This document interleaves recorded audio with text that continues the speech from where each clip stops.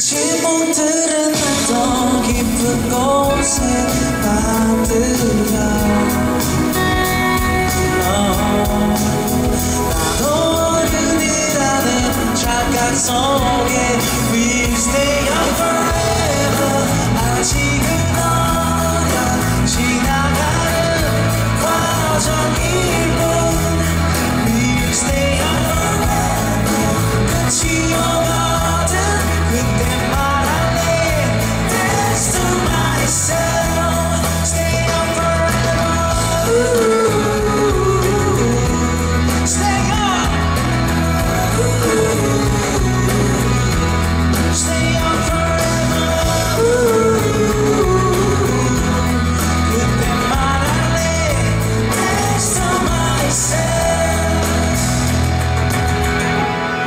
to stay young.